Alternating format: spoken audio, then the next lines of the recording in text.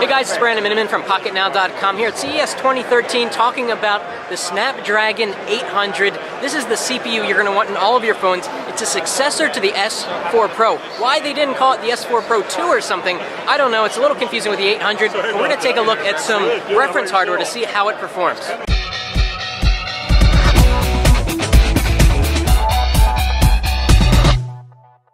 Okay, so what we have here is some reference hardware. We've got Asphalt 7, which on most Android devices is laggy.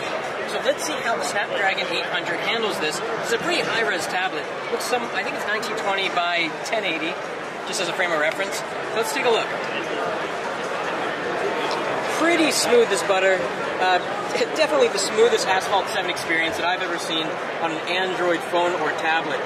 Um, maybe even as good as it is on iOS, dare I say. So textures look good, frame rate is quite good. So let's stop this real quick and actually just bounce around the operating system quickly. Again, this is reference hardware. There's nothing really on here. Uh, just, just to give you a sense of the speed and fluidity. With a really high-res screen, this is just running on a, a Jelly Bean to keep it snappy, keep it good. And again, it's really difficult to tell.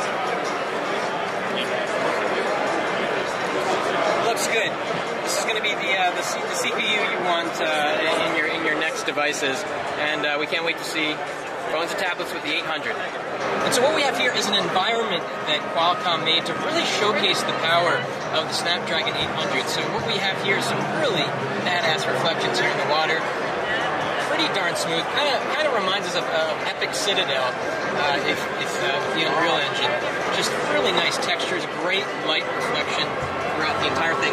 And, and, again, Qualcomm made this internally to kind of showcase the best of the best here in terms of what the Snapdragon 800 can do.